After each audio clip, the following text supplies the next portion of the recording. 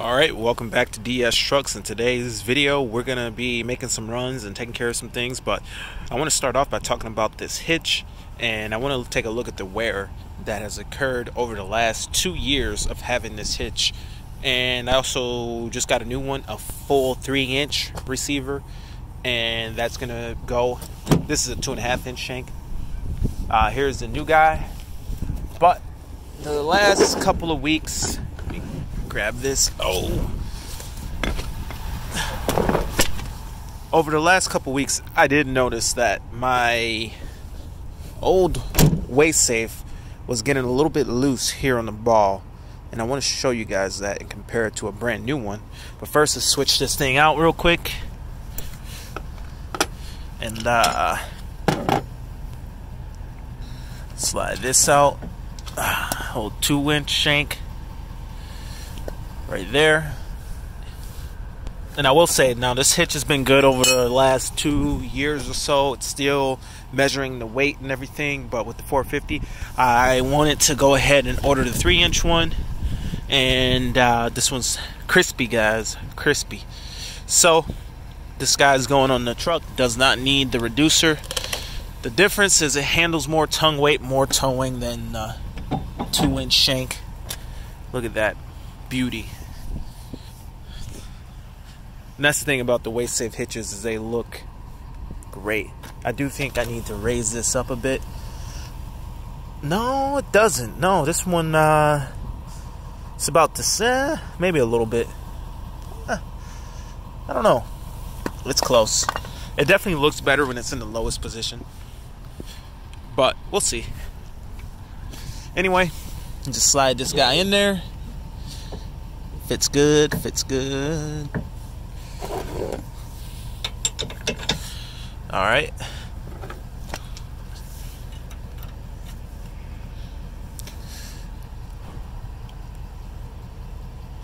All right, guys. So,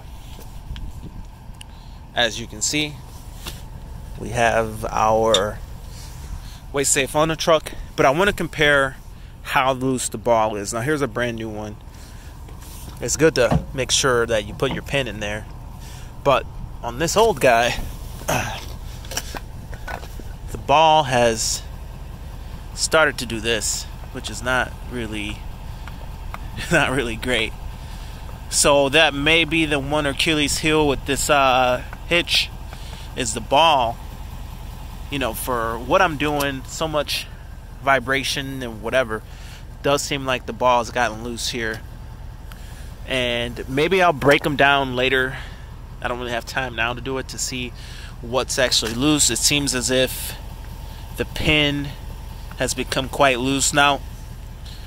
It doesn't look like anything's going to wear out to the point where it's going to fail, but it could be why the trailer didn't feel so great the last time I towed with it. So, anyway, we're going to make a couple runs. We're probably going to pick up the trailer and do some towing and see if this new hitch feels better than the loose one. But anyway, see you guys in the next scene. Alright guys, but before I do any towing, I gotta pick up something for the old lady at the old East Detroit bakery. But the uh, F450 fits pretty good guys. Tight parking. But yeah, truck looks good.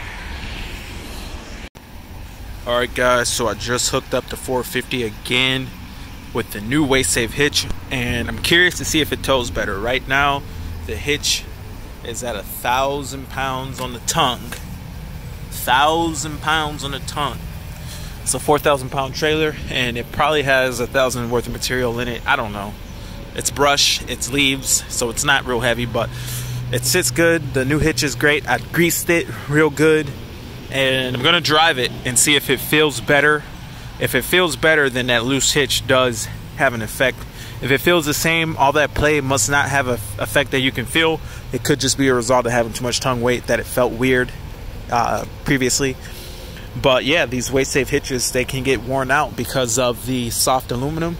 The uh, pin that holds the ball in is soft aluminum. So if you have a Weigh Safe hitch, it's probably a good idea to make sure you keep the ball greased real good and to uh, I don't know if it gets loose then go ahead and switch this thing out but because you can just get this end if you want it. But at the same time, uh, if you're going to be doing a lot of hardcore, heavy duty type of work where you're unloading, maybe if I was unloading a Bobcat or something like that, it might be a good idea just to use this scale one to find my tongue and set up the trailer and then put this inside of the cab and have their other one that does not have a scale and does not have moving parts. But anyway, let's hit the dump. Alright guys, so driving with the 14 foot dump behind me and I will say with a new hitch without all the play. The hitch feels a lot better the towing feels a lot better it doesn't feel clunky. And you know it feels like it's it doesn't feel as good as when you have a little bit of more weight on the rear of the trailer. It definitely doesn't feel perfect, but it does kind of go to show that having the slop in the in the hitch will translate to a lower quality tow, and it does lend its hand to the idea that I should retire the loose Weigh Safe hitch. If I do decide to continue to run it, I should replace the uh, scale and the pin and all that. Honestly, the ball itself is okay, but the aluminum has kind of worn loose. Uh, the scale and everything still works, but everything's just gotten loose over the years. I've had it for a number number of years, and I've used it every single day. So we'll see how this one goes. Uh, I really didn't really pay attention too much to the play until I already had the hitch. Oh man. I didn't really notice the play until I took the until I already pretty much had the new hitch coming in and you know it's like now it's like hmm I wonder how long this new one's gonna last being that we're doing some pretty heavy duty stuff I mean we got a dump trailer and all that so we'll see what happens I'm gonna keep the ball greased and I'm gonna try to make sure that I take care of it. But this other hitch, I pretty much ran it, and uh, it, the, the, scale itself has performed great. But I will say there are wear points in that hitch that when you're doing some heavy duty stuff, it might be a good idea to use maybe a, either either a different hitch or their hitch that doesn't have any moving parts. But anyway, guys, we're gonna go ahead and get this dumped, and I'll see you guys at the dump. All right, guys, here at the dump and it's a wet one. But yeah, guys, everything's pulling a lot better. Yeah, the worn out hitch, not too good. So yeah, I'm definitely not gonna run that hitch anymore. I'm probably just gonna mount it to my mower and turn my mower into a trailer hauling. Whoa, look at that pile of leaves. Oh, that's from the waste management. Wow, they've uh they've got a dump in the same spot as me. And that's something. We got the other people here dumping and blowing and taking care of business. Let's see if we can get in there. Kind of busy. We're driving through the mud here with the 450. Will we get stuck? Will we need the 4x4? I don't know. The guys lined up. I should have brought a blower. That would have been nice if, if I could uh, help a fellow with this blowing. But uh no, just got the one blower. I'm gonna go over here where it's wide open.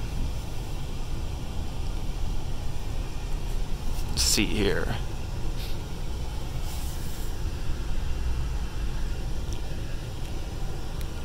Got a little mud on my boots.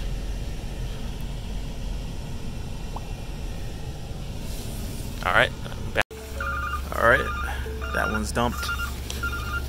Let's see what we can do.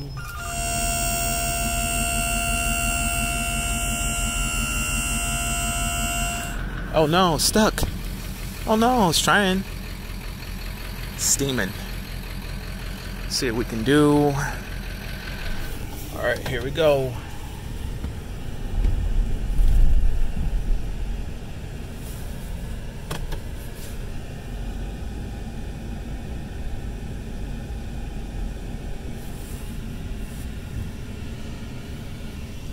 That did for us.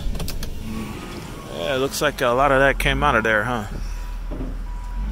Alright guys, leaving the dump, and I will say this limited slip stuff is nice. I mean, the thing Doesn't need to be in four wheel drive. Just hooks up and all the muck. But anyway, uh, dumped the load. Uh, Weigh Safe hitch lost 500 pounds. But anyway, I'm gonna head home and I'll see you guys at the next scene. Alright guys, so I want to conclude this video and this did end up being a video about the Weigh Safe hitch. Now, I do want to come out and say that I love Weigh Safe hitches. I think they offer the best value and by no means do I want to bash the brand or bash the company. I just want to show the honest results that I've gotten from this hitch over the last two years. And as you guys can see, uh, this hitch might not be the best solution for everybody out there. Uh, for example, now if you're towing a lawn care trailer, like I've used this hitch to tow a lawn care trailer for two years, what that does is puts a lot of negative pressure because typically a lawn care trailer does not have support rams at the end of the trailer when you're unloading a heavy mower, which is uh, not a bad idea to have or incorporate some kind of way to, uh, you know, it does exist for there to be options in the gate, the, the lift gate for the trailer to allow for all that pressure not to be applied to the ball. So when you take a mower off of a trailer, it lifts up the trailer and it lifts up on the ball. Now you're cutting lawns, you're doing residential, you're doing all these houses, and so let's say you do 30 houses a day, it's going to pick up on this ball probably 60 times in one day. And over the course of a couple of years, that's going to put a lot of extra wear and tear on that pin that holds this in, and just to, just in general put wear and tear on the ball. And it does show with the old hitch, as you saw earlier in the video, that it was really loose. Um, for that application, it's probably just a good idea to just use something like this to check your distribution of your trailer. Once you know how it's distributed, if it's always loaded that way, then just switch to a normal hitch because it doesn't have all the moving parts and wear points that this hitch has that being said, uh, I did order this. If I really would have thought about all this stuff before ordering it, I don't know if it would have changed my decision necessarily. They do have a 180 hitch, and I did earlier mention that that has less moving parts. It's the one with the ball coming out of the top and the bottom. But upon further uh, investigation, that hitch actually still has the locking pin and it could still suffer from the same uh, issues. Now, they do have a hitch that is a two inch receiver hitch. It has a scale on it. It's just a straight hitch. It doesn't have a drop, and you can just mount any ball to it. And that looks like it might be free from any of these issues. Now, with all this being said, is this hitch still a good value? So one thing I found with with uh, the worn out hitch the last time I used it before retiring that hitch is with the loose ball and too much tongue weight. We were running like a thousand pounds of tongue weight for a uh, four thousand pound dump trailer loaded with brush. Probably, probably uh, six seven hundred pounds of brush. I don't know exactly, but brush isn't that heavy, or it's actually leaves, and typically leaves aren't that heavy. So uh, you know, I didn't actually take the time to scale the load, but uh, but with the loose ball, I immediately noticed that the quality of the tow was diminished. And then uh, once with even with the loose ball, once I put the mower in the back of the trailer, because typically the mower is in the trailer, but I have to take the mower out in order to dump the load. But once I put the mower over the axles and put more weight over the axles of the trailer, essentially bringing the overall tongue weight. It didn't. It lowered it about a hundred pounds, I think, but it also added more weight to the trailer, meaning that less of the overall weight was on the tongue. Once I did that, the towing of the of the load was identical to before with a solid hitch without play. So once the tongue weight was brought into reasonable uh, levels, even with the loose hitch, the tow was flawless. Even with the loose ball, the tow was flawless. So it goes to show that even though this hitch does have a wear issue, uh, if you can call it an issue, um, even though it has that problem, it still allows you to set up your trailer perfectly. And at the end of the day, the best solution that I could really come up to to the issue is to periodically just keep an eye on your ball.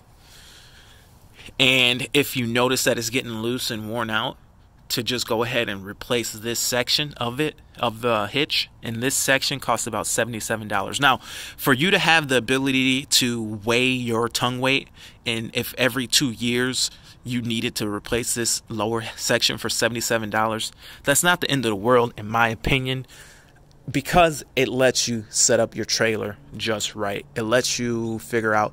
Now once i put the new one on the truck and i towed the same dump trailer and I could tell that it wasn't a hundred percent uh, perfect. I mean, it was. You could tell that this was a new hitch compared to the one with all the play, but you could also tell that hey, that's too much tongue weight. Like it definitely had characteristics of having too much tongue weight, but having everything tight and new alleviated a lot of the issues where having a loose ball really showed you and magnified the issues of having too much tongue weight. So all in all, what do I think about this product? Would I recommend this product? Um, I would still recommend the product, but it's not for everybody. It's not for somebody who wants something to last forever. You know, this hitch I don't think will last you forever, while some of the other hitches will last you a lot longer. A hitch without any moving parts will last you a lot longer than this hitch will last you. Um, for me, I have an understanding that every once in a while, currently at the time of filming this, that part, that lower section, this part here, is $77. That might change over the next few years, but knowing that periodically I might have to replace that, I guess it's not the end of the world. And uh, I do, you know, you know, while this does have this wear issue, it does add a level of safety to be able to measure your tongue weight and set up your trailers. If you're getting loaded, now if I'm towing my dump trailer and I'm loading it or getting loaded or whatever, and I'm realizing that I'm overloading my tongue, I could position things in the trailer in real time. I could position things more toward the rear, whatever, of the trailer than what whatever whatever you know so it does add a level of usability and a level of safety that for me you know given that it has this little bit of wear, it does achieve a lot of things. And the hitch itself still doesn't cost too terribly too much money. If you look at some of the competitors that have good hitches, like uh, Gen Y has really good hitches, and if you're the kind of person that wants something that's probably never going to wear out, maybe the Gen Y hitches are for you. They're not typically. I don't think they have aluminum hitches. I think they're steel. They have torsion hitches, which uh, would which uh, absorb a lot of the movement of the trailer, and they offer good warranties on the hitches. But I don't know if they have a scale. But at the end of the day, if you're looking for a hitch, you're hauling heavy daily, and you're looking for something that's not going to ever wear out, maybe a Gen Y hitch is better. That being said, Gen Y hitches cost more than Weigh Safe hitches. And you know, while this lower section might wear out, by the time you catch up through to a to a Gen Y hitch, you're gonna have probably replaced a couple of these before you catch up to the cost of one Gen Y comparable Gen Y hitch.